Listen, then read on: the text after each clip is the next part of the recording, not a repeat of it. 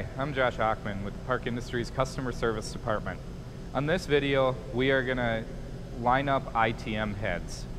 So, the first thing you do want to double check if you're showing that your ITM heads are not lined up is make sure you have air onto the machine and there is air blowing out of the ITM heads to open the plunger up so it can send the beam and receive the laser beam. Second one, make sure obviously no obstructions are on there. And uh, third thing to double check before you line up ITM heads would be to clean your heads. And we do have a service guide on our website also on how to clean your ITM heads. So we're going to start out with here. First thing, to, if all those check out, first thing to look at is if your probe indicator is reading red. That means the laser beam is not making connection on the ITM heads. This is a 3000 series Titan, um, 3700 to be specific, and you will have the screens will look a little different on the 2000 series or 1000 series Titans, but it's the exact same concept. Uh, red light means they're not lined up, green light means they're making good connection. Okay, so now that we're here at our ITM heads, we already removed the four nuts holding the top bracket on. We'll remove that top bracket. And here we have our ITM heads with our adjuster packs on where we can adjust the ITM heads. The transmitter is on our right side and the receiver is on our left. This will be the same on any machine there. You can also, if you want, you can look, the transmitter has uh, a TX on it and the receiver has RX. So to start out with, we see we do have a red beam coming out of our transmitter, so we know our transmitter is working.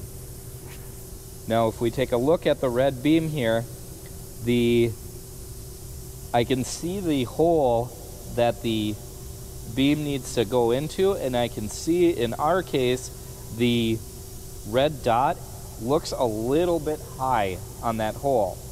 So that's how you can start to tell which direction you need to move. So I'm just going to do a quick check and lift up ever so slightly on this and try and get that to line up. And I can see my red light at the top turned amber. That means I'm getting closer to a good connection here. So in this case, I do need to come straight up with it. So we're just going to break our bolts a little bit loose, just crack them. We don't want to get them too loose.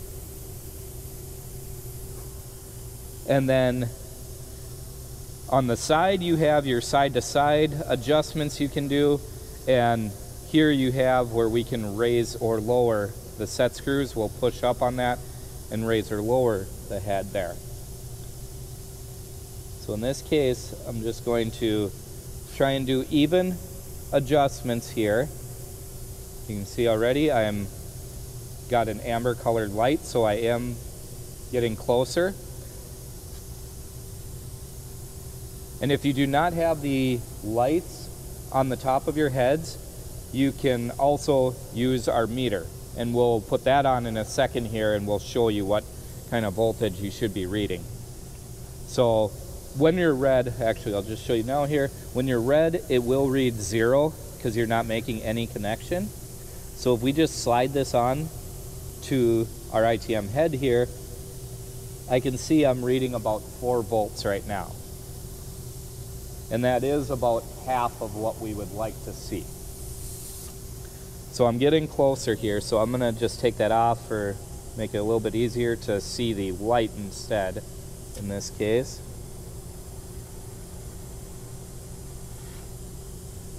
And now I am green. So now once I'm green, I definitely want to be checking my voltage here.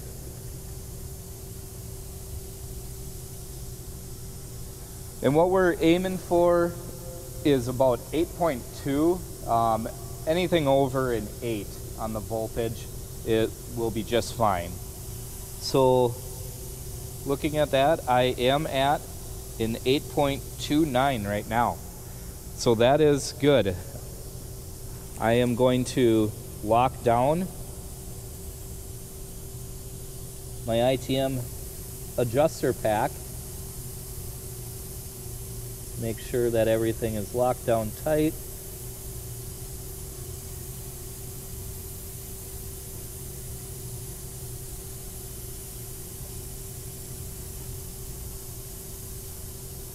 and I am still at that 8.2 yet. So now we can remove our our meter. This meter does come with any machine that had an ITM. Um, if you need this meter, we Park Industries does sell it um, if you want there. And uh, now we can just put our top plate back on. Um, when you do bolt these down, when you do tighten these bolts down, just uh, they don't have to be reefed down real hard here. Um, we will just uh, snug them up and then we should be good to go. After you do align your ITM heads, you do want to do a calibration um, and beam align there just to make sure everything is in par. You should have your um, ITM tool that has the measurements already in your machine. Okay, now that you can see, um, we got everything back together back there. Our probe is lit up green, a solid green here, which is good. So now we're gonna come to our tool library screen. On this machine specifically, our tool number is 298 for our ITM tool. All our values are in there, um, which is good. If for some reason your ITM tool is not in there. The, this is your ITM tool. All the values are printed on it. Before you do any measurements, make sure the tool is nice and clean. This is a tool you want to keep in a clean, dry area. Um, we don't want these rusting up. That can make it very inaccurate for your beam align and calibration there. So we're going to go back to our ITM screen here and on ITM setup at the top corner. We are going to insert our tool and then we can do our beam align and align that up. Okay, now that we got our tool in our spindle and our tool is selected, uh, make sure current tool again is the 298. We can come to our back to our ITM setup screen here make sure our spindle is enabled and we can click beam align and now it will do its thing. It will take a couple minutes here to align them beams and we'll come back and see what numbers we line up with. Okay, now that we got our beam align is done, our results here, our beam axis is 2000 and our tool axis is 4. Tolerance for the machine is beam axis has to be within 10 thousandths and tool axis is within 5 thousandths. Right below this video, there will be a guide on if yours is out of tolerance, what you need to adjust. Um, which way you need to move your heads to make that line up better. But we are within tolerance, so on this video, we are not gonna do any adjustments. So after that, we can go to our tool dimensions tab here, and then we can calibrate.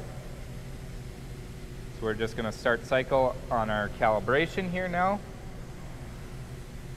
And this will also take a couple minutes here.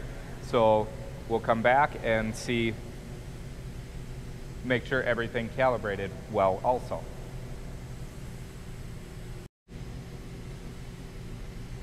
Okay, once it's done with the calibration process, um, you do not get any alerts or pop-ups. Um, in this case here, you can just see it's just sitting there at calibration here um, and not moving anymore. So once you get done with that, it's a good idea to measure your calibration tool. So we're going to go to ITM measure. We're going to select tool, and and select our ITM tool.